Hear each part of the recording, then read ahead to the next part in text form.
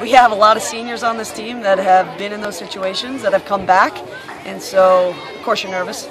Of course you're changing lineups and you're trying to find solutions, and we kept moving pieces around until it worked. And fortunately, uh, it worked, and then we continued to press and got a second one, and and, uh, and and those last 10 minutes, I was really proud of this team. Uh, it's always the most dangerous time is always right after a goal for one way or another.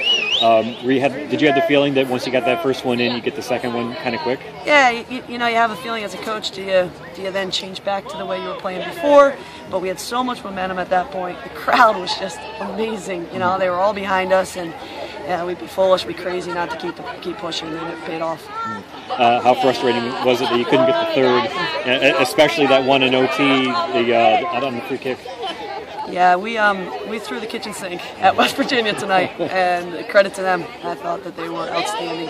Um, to come into Jeffrey Field, to come into this environment in front of our fans, and to walk away with a tie, that's a strong effort on their part. Both goalkeepers, I thought, were could have been the players of the match tonight. I thought their goalkeeper was outstanding, and Britt came up in big moments, and that's what we talked about before the game. Is uh, is there's going to be big moments, and who's going to step up, and, and I thought she did.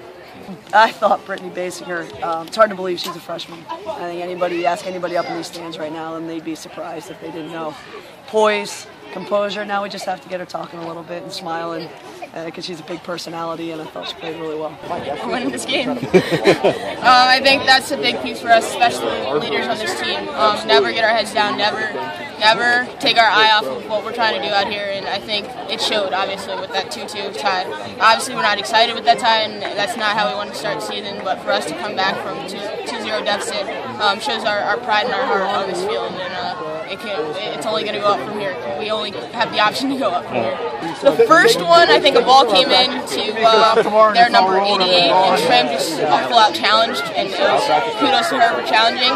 The ball popped out, um, and it was just her and I 2v1, um, and we took great advantage of it. We went straight to goal with it, and she tucked it away nicely, and really did well with that one. And the second one, Mel Weber just got down that line as fast as she possibly could, and I was trying to keep up with her, um, and I did, and I knew I knew exactly where the ball was going, and it was just a matter of getting to it.